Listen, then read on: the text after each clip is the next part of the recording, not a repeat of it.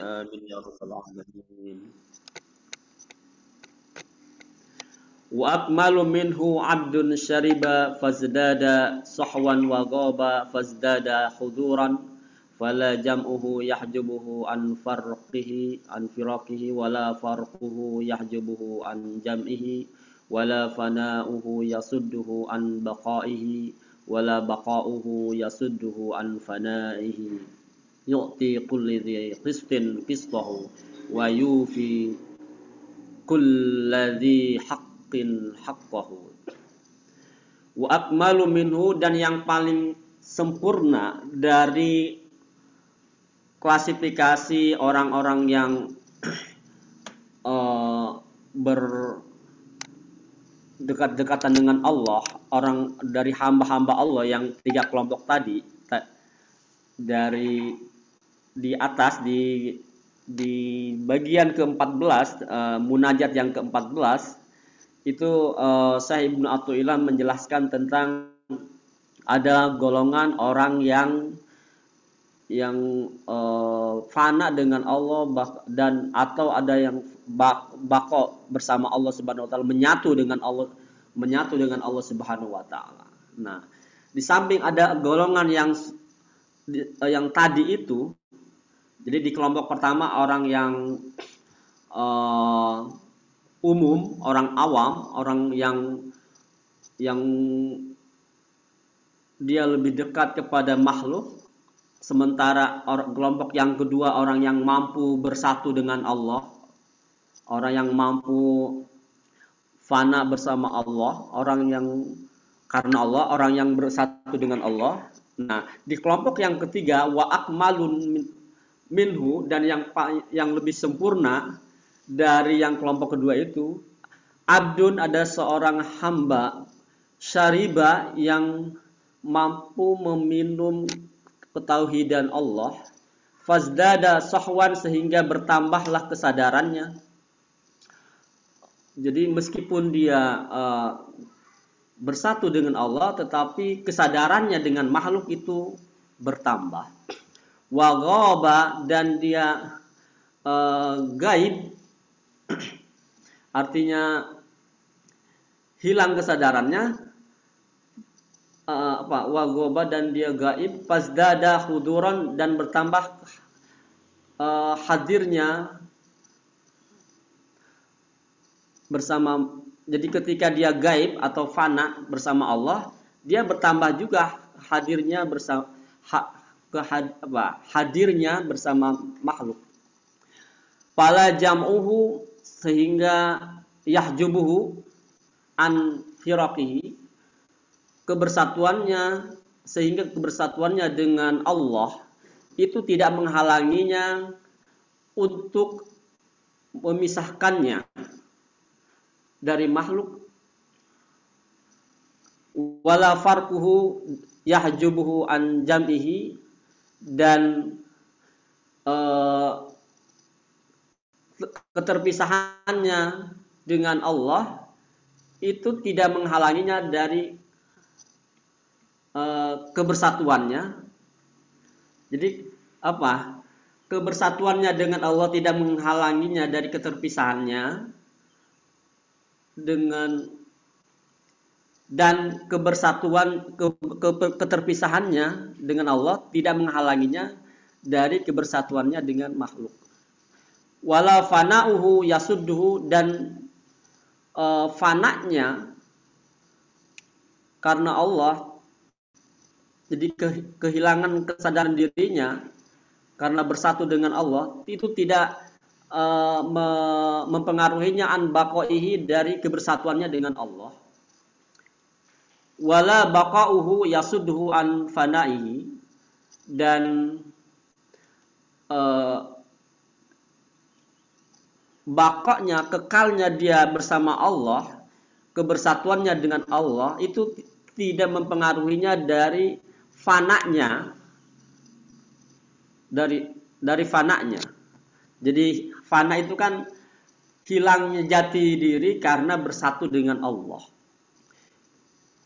Jadi di yu'ti kulladhi haq zu'ti kulli qistin seorang hamba ini meskipun dia artinya bersatu dengan Allah bahkan dia fana tetapi dia tetap uh, bersama makhluk tidak terhalangi untuk melakukan uh, komunikasi dengan makhluk. Sehingga uh, semakin dia dekat dengan Allah semakin dia dekat dengan makhluk gitu. kalau yang kedua tadi itu kan ketika dia bako dengan Allah maka dia menjadi uh, eksistensi dirinya hilang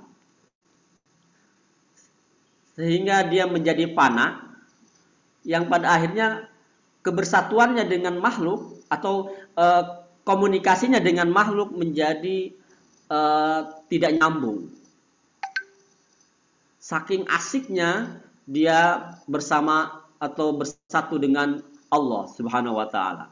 Tetapi di kelompok yang ketiga ini menurut saya Ibnu Athaillah yang paling sempurna nah, mungkin dalam konsepnya uh, ilmu tasawuf itu ada istilah insan kamil. Jadi orang yang sudah masuk ke dalam kelompok insan kamil itu semakin dia dekat dengan Allah, semakin dia dekat dengan makhluk. Gitu. Karena itu yu'ti kulli qistin. Seorang hamba ini akan memberikan semua bagiannya sesuai dengan uh, kistin. Jadi kistin itu kan al-kistu dalam Al-Qur'an itu biasanya dimaknai dengan uh, al-adlu. Tetapi al-kistu itu artinya bersifat kuantitatif. Kita tahu dalam Al-Quran itu kan uh, bahwa misalnya dalam surat Al-An-Nisa ya ada ungkapan apa uh, bahwa orang yang ber, ber, berlaku poligami, orang-orang yang ber, orang yang melakukan poligami hendaknya dia e, bersikap al-qistu, bersikap e, dan al-adlu. Jadi ada dua syarat yang dikemukakan dalam surat An-Nisa ayat 3 kalau nggak salah itu. Saya lupa ayatnya. Jadi syarat yang pertama yaitu al-qistu. Jadi mampu berlaku adil secara kuantitatif. Nah, Artinya di sini seorang hamba, seorang hamba yang dekat dengan Allah bahkan dia mampu fana atau dia mampu bersatu dengan Allah, dia di, tetap mampu melakukan uh, bahagia, uh, memberikan perhatiannya kepada makhluk secara uh, apa kuantitatif, secara secara proporsional secara proporsional. Gitu. Wa yufi kulli kulladzi haqqin haqqahu dan dia juga seorang hamba yang sudah mampu bersatu dengan Allah itu menyempurnakan semua hak-haknya sesuai dengan hak-hak makhluknya. Makhluk, sesuai dengan hak-hak makhluk. Jadi orang yang sudah semak orang yang sudah mampu kepada uh, masuk ke dalam derajat yang ketiga ini dia mampu juga menyempurnakan hak-hak makhluknya artinya dia artinya walaupun dia dekat dengan Allah atau semakin dia dekat dengan Allah semakin dia profesional dalam melaksanakan tugas-tugas kemanusiaannya. Jadi itulah insan kamil yang uh, menurut para ahli tasawuf inilah kelompok yang yang ketiga ya yang artinya uh, kelompok yang VIP khusus hawasul khas. Jadi eh, orang-orang yang khusus dari yang khusus ah, gitu.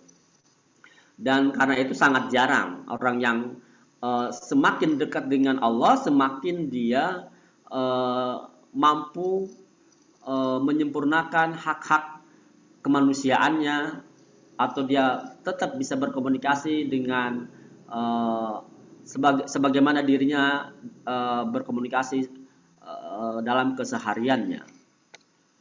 Karena itu e, para ahli tasawuf misalnya menyatakan e, bahwa ada lima karakteristik seorang yang mampu mengamalkan ajaran tasawuf. Ini saya baca misalnya dalam bukunya Profesor Hamka ya. E, bukunya yang terkenal yaitu Tasawuf Modern. Jadi e, kita tahu Hamka adalah orang yang banyak menghasilkan karya-karya termasuk yang terkenal adalah karya tafsir Al-Azhar kan bahkan beliau uh, sangat apa dianggap sebagai orang yang apa uh, otodidak dalam dalam komunikasi internasional. Pernah suatu kali beliau juga pernah mendapatkan gelar profesor ya di Al Azhar Mesir. Dan beliau juga pernah dipercaya oleh Insinyur Soekarno untuk uh, menyampaikan pesan-pesan uh, keislaman ke berbagai dunia internasional. Meskipun di akhir di akhir jabatannya beliau juga masuk penjara karena uh, urusan politik, tapi ternyata menurut Hamka gara-gara masuk penjara saya bisa membuat sebuah karya tafsir yaitu tafsir Al-Azhar. Jadi uh, beliau berterima kasih kepada Bung Karno, Bung Karno juga berterima kasih kepada Hamka. Itu itulah ciri uh, apa uh, yang di mana Profesor Hamka membuat membuat karya yaitu judulnya tasawuf modern. Menurut beliau ya bahwa tasawuf itu orang yang mem, orang yang memiliki uh, mengamalkan ilmu tasawuf menurut beliau ada lima karakteristik. Yang ini sangat sesuai dengan apa yang tadi disampaikan oleh uh, Syekh Ibnu Athaillah As-Sakandari ya. Semakin dekat dengan makhluk eh semakin dekat dengan Allah, semakin dia mampu menyempurnakan hak-hak kemanusiaannya. Ya. Yang pertama, seorang yang mengamalkan ajaran tasawuf memiliki kemam, apa, mampu melakukan peningkatan moral. Karena kenapa dia mampu melakukan peningkatan moral? Karena dia Eh, sudah melaksanakan makomat wal ahwal.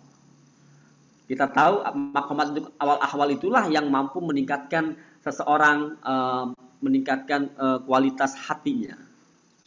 Gitu.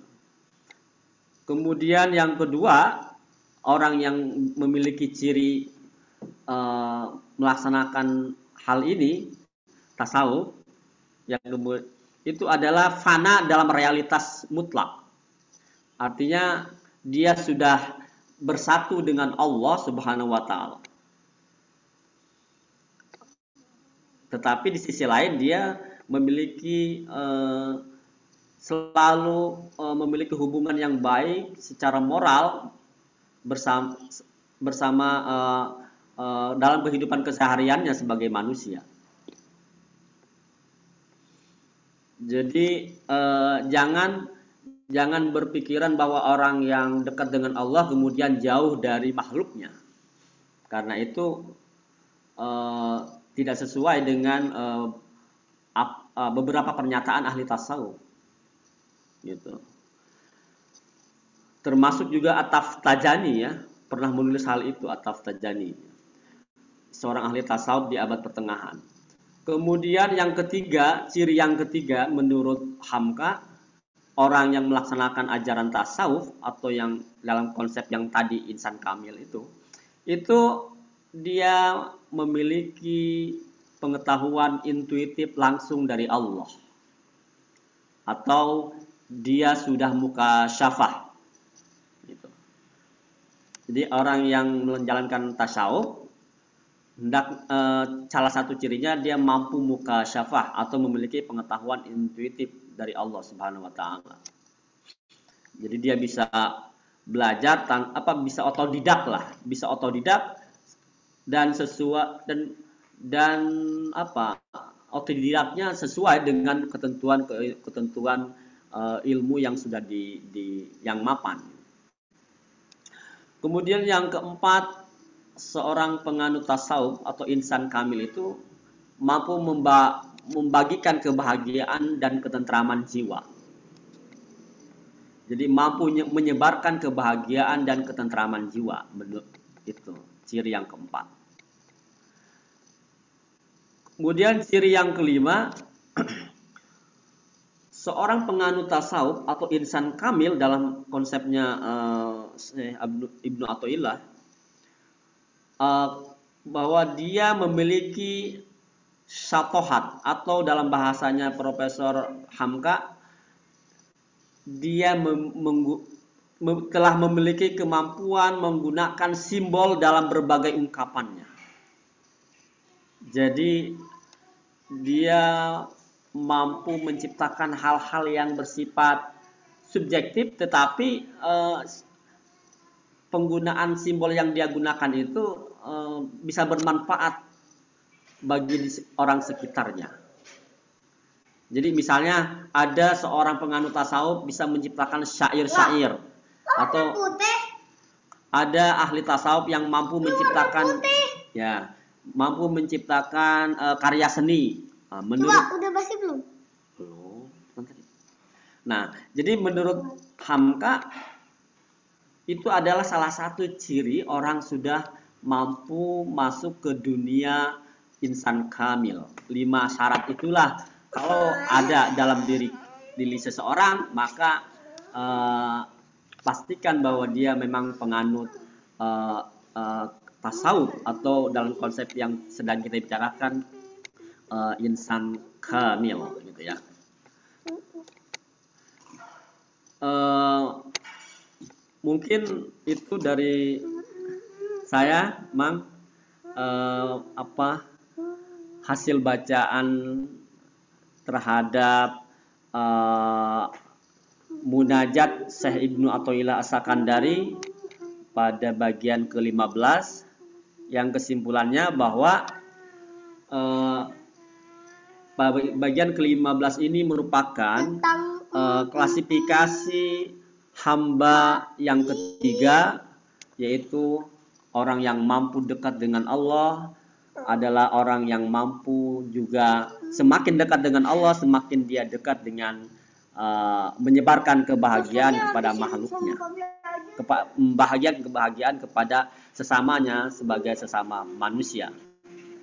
Sehingga uh, kelompok yang ketiga ini disebut oleh para ahli tasawuf dengan insan kamil Demikian mudah-mudahan nanti uh, ada masukan dan tambahan dari mama-mama kiai yang lain ya.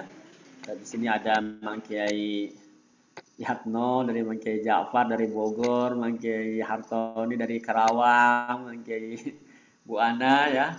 Juga Mang Kiai Soleh Afifi dari Jember. Silahkan mohon maaf jika ada kekurangan. Allahumma fiqil aqwamit tariq. السلام عليكم ورحمة الله وبركاته.